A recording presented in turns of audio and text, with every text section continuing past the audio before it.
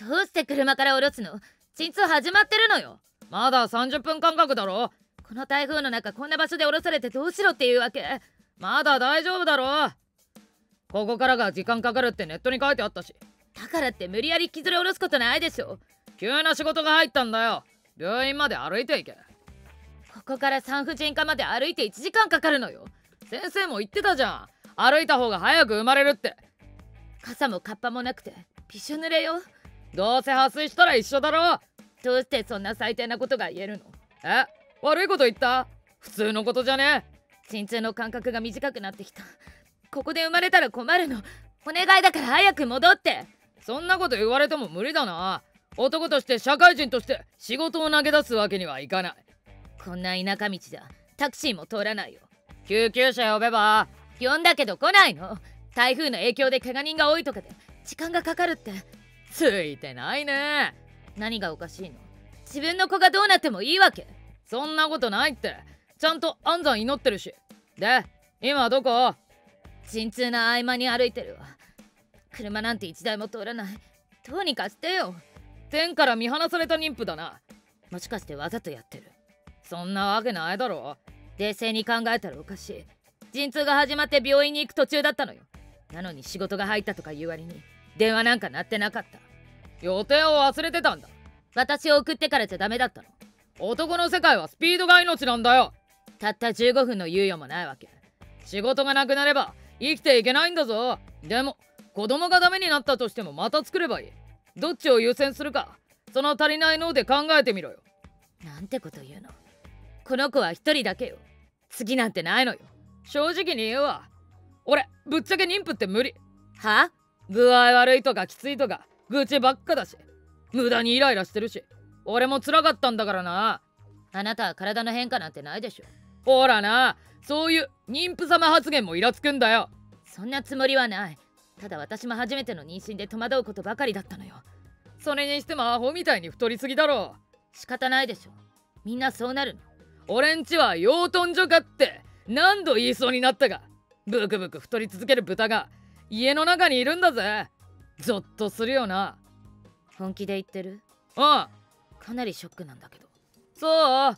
だからこんなことしたの？それは違う。仕事だから仕方なかったんだ。わざとやるわけがないだろ。いざという時に責任を負いたくないのね。だから否定するんだ。そんなんじゃないけどさ。俺も忙しいんだわ。鎮痛きた。もう一度お願いする。どうか戻ってきて。子供がいらないなら私一人で育てる。養育費も請求しない。だからこの子だけは無事に産ませてほしいの。人間の生命力を信じろ。じゃあな。翌日。昨日ちょっとやりすぎたかも。いやさすがに。台風の中車から出したのは悪かった。でも病院まですぐだったし。大丈夫だろちゃんと出産できたか？は？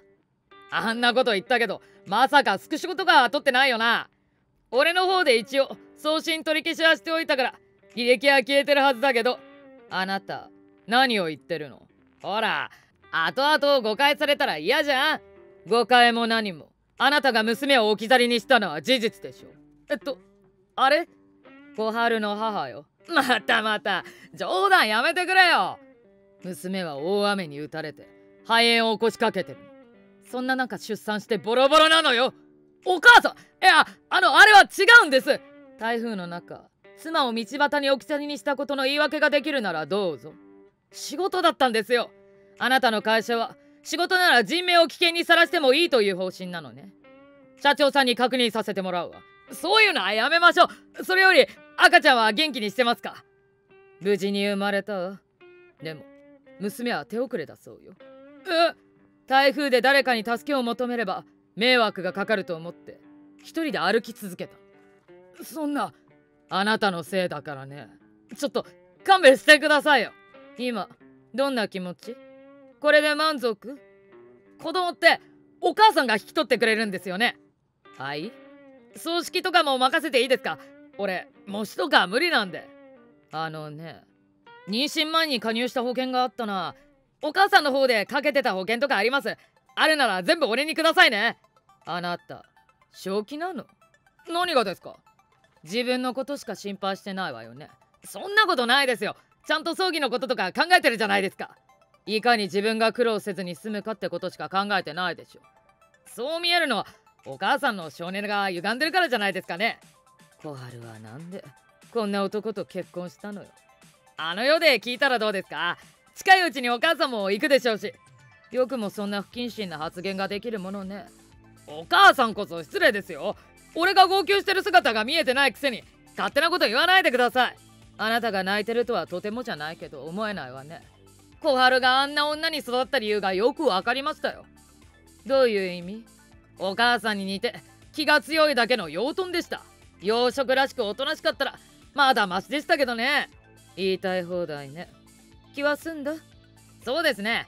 このくらいにしておいてあげますよ。お母さんもこれから大変でしょうし。そうね。孫の世話で忙しいからあなたの相手をしてる暇はなさそうだわ。あまり甘やかさないでくださいよ。一応俺の子なんですから。長く生きてきてよかったと思えるのはこういう時に感情を乱さず冷静に対応できることよ。何言ってるんですか。あと20歳若かったら刑務所に入る覚悟であんたを攻撃してたわ。怖っ。焦らずにどうするのが最善か。じっくりと考えさせてもらうわね。はいはい。認知症寸前が何言ってるってことでスルーしてあげますよ。じゃ失礼します。1週間後。お久しぶり。またお母さんですか。もう勘弁してください。小春本人よ。あお前死んだんだろ。誰がそんなこと言ったの。お母さんが手遅れだって言ってたぞあんたの反応を見るためにわざと言ったのよ。はそしたらまんまと信じたからどんなこと言うのか様子を見てただけ。クソじゃねえか。そう？私はあんたの本音が知れてよかったと思ってるけど。おかしいと思ったんだよ。葬式やった様子もなかったし。だとしたら気づくの遅すぎない？もう1週間も経ってるのに。仕事で忙しいんだよ。違うよね。色ぼけしちゃって周りが見えなくなってるんでしょ。何の話だよ狭い町で浮気なんかしたらすぐにバレちゃうのに。あのスナック店員に手を出すとかやめなさいよ。なんでバレてんだ？あなたのお母さんが協力してくれたのよ。え？母ちゃんが？田舎って探偵なんかつけた方が目立つからね。ご近所さんたちの情報網であっという間よ。なんかおかしいと思ったんだ。どこへ飲みに行っても買い物に行っても人が冷たいっていうか台風の日に妊婦を置き去りにした極悪人ってことになってるからね。最悪だ。あんたの会社の社長ってお母さんの同級生なんでしょ？そうだけど。陣痛中の妊婦より大事な仕事があるのか聞いてくれたみたいなの。え？あの日は台風で自宅待機ってことになってたそうね。いや。あの日スナックのミカちゃんの家に行ってたことは本人が白状したから。なんで喋るんだよ。スナックをクビになるかクズ男を選ぶかの二択で仕事を選んだみたいね。そんな。俺はあの日嫁と私どっちを選ぶのって詰められて仕方なくミカちゃん家に向かったんだ。せっかく彼女を選んだのに捨てられちゃってかわいそう。無事に生まれたんだろ多分病院まで歩いた方が良かったんだと思うぞ。ってことでなかったことにしてくれ。はあ？お前だって一人で子育て大変だろ。おむつ運んだり捨てたりくらいなら俺が手伝ってやる。犬でもできるようなことをゴミカスに頼むわけがないなんだって？亭主に向かってなんだその口の利き方？ああてめえのどこが亭主だ？え？ハートの LINE 全部見たからな。子供は引き取らない。もちもやらない。でも保険金はもらうだって。ふざけんなよ。何様だよ。生きてると分かってたらあんなこと言ってない。逆だよ。人間土壇場で見せる本音に全てが現れるの。こんなやつと今後も一緒にいてもし私に何かあったらとてもじゃないけど成仏できねえわ。小春ちゃんそんなこと言わないでさ。俺だって息子と一緒にキャッチボールぐらいできるからさ。あ？娘なんだけど。そうなの？いいじゃんいいじゃん。お風呂パパが入れてあげまちよ。きしょ一生触らせないし。顔も見せないから。血のつながった我が子がどう成長するかも。見せてもらえない地獄を味わえ。ひどくない？だから養育費もいらない。払うよ！払わせてくれ！いやお前の金でおむつなんか買ったら可愛いお尻がかぶれる。お前の金で買ったミルクなんか飲ませたらゴミアレルギーになる。言い過ぎだぞ。どこがだよ。会話してもらえるだけありがたいと思えなんでそんなにキャラが変わってんだよ。養豚扱いされて切れない女がいると思ってんのか。ああれ？大きいお腹抱えて苦労してるのにそれを養豚扱いされてみろよ。夫から笑われて許せる女がいたら連れてこいや！すみませんでした。あまりにも夫になられましたのでつい語彙力がないばかりに動物に例えてしまい申し訳ありません。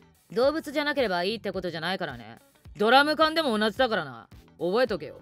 大変反省しております。お母さんは孫を選んだから。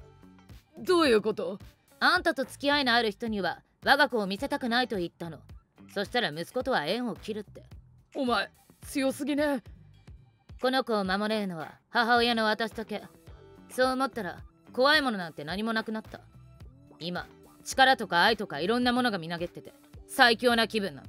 叶うわけがない。可愛い赤ちゃんよ。助産師さんもででこんなに顔がはっきりしてる子は珍しいって言ってくれたの。見たい。手足も長くて将来はモデルさんねってお母さんが言ってる。見たすぎる。色も白いのよ。髪もうっすら茶色でね。きっと可愛い子に育つわ合わせて今から病院行く。もう退院したし今は実家よ。じゃあそっちに向かう。父がゴミカス撃退用の金属バットとスタンガンとネズミ捕りを買ってきてくれたみたいなの。安易に近寄ると足の指ちぎれるけどいい。そこまでするのかよ。父的にはまだ対策グッズが足りないって張り切ってた。電気柵も23万で設置できるみたいだし催涙スプレー買おうって言ってた。二度と近づきません。よろしく。じゃあ失礼します待て。まだ何か？浮気の慰謝料。それはもういいでしょなんで？遺伝子提供したんだからそれとチャラで。お前ごときの DNA にいくらの価値があると思ってんだよ。でも俺がいたからその赤ちゃんが生まれたんだぞ。だから何？俺が存在していることに少しは感謝しろって言ってるんだ。お前が今この瞬間に消えてもこの子の命はおろか地球の生態系に何の影響も与えない。くそ慰謝料っていくらだよ？500万は？相場より高いだろ。相場なんか知るか？私の心の傷は。500万ポッチじゃ済まないけど。大幅値引きしてやってんだよ。無理。払えなあっそう。じゃ払いたくなるようにするしかないね。い何？どういうこと？お楽しみに。